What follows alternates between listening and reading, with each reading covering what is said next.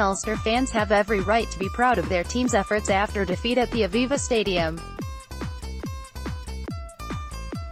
As many as 15,000 Ulster fans travelled south to roar the team on in the European Champions Cup quarter-final against Leinster.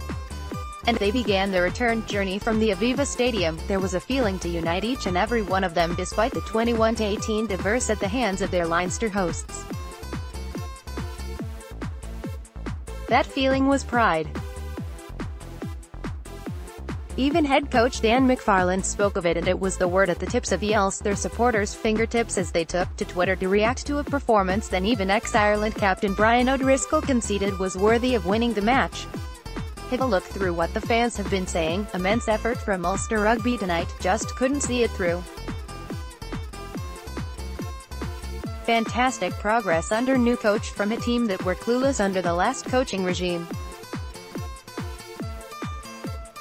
Well done all thumbs up, Jim Ireland, at Jim Ireland, March 30, 2019 Such a great game of rugby and superb atmosphere at Lansdowne Road today.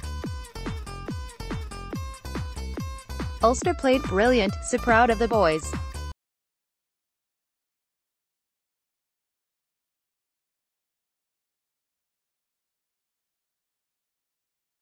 Huge performance and even with half the number of fans, Ulster make more noise.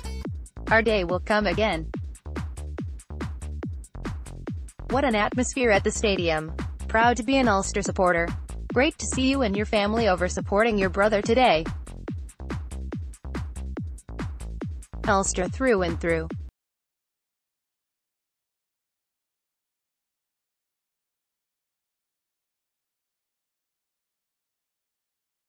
Today we took the European champions to the wire and if the score had gone the other way I don't think at Leinster Rugby would have complained. Massively proud of all at Ulster Rugby for turning things around. Not many in World Rugby would even have got themselves into that position in the first place.